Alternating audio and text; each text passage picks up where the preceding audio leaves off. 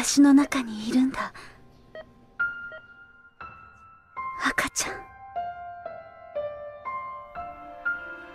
ゃん。新しく開発されたナノ結晶体シリンダーの屈折率変化を利用し複数の高出力高安定のレーザーを螺旋状に回転させる。シリンダー内のレーザー渦の中では重力場によって疑似的なブラックホールの外周領域が形成される。そこに中性子を投下し計測を行う。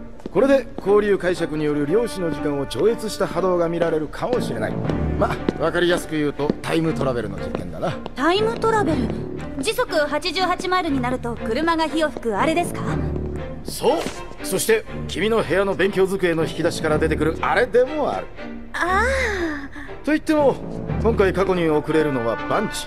小さな小さな中性子の塊だ。あ中性子の塊を過去に送ったらどうなるんですか？過去を変えるということになる。過去を変える？そうなった場合現在の我々はどうなるか。エベレットの多世界解釈で考えると何も起きない。何も起きないのですか？別の可能性の世界が生まれても我々にはその存在を認識できないからな。進藤博士急いでくだああさ分かってる。で話の続きだ。